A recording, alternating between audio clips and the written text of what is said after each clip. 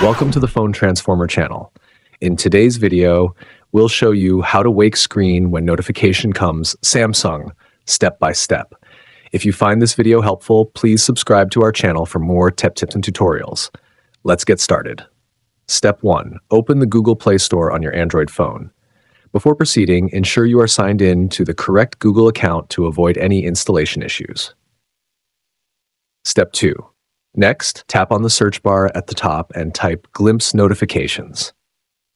Once you find the app, go ahead and install it.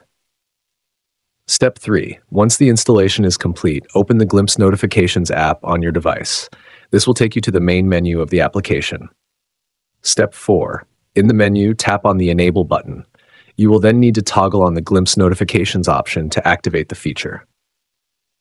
Step 5. Now, tap the back button to return to the main menu, then select Fix option. This step helps ensure the feature works smoothly on your Samsung phone. Step 6. Finally, tap on the Allow Notifications option to confirm that the app has the necessary permissions.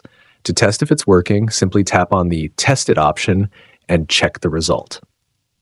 And that's it. Your Samsung phone screen will now wake up whenever you, whenever you receive a notification. Thanks for watching, and see you in the next video.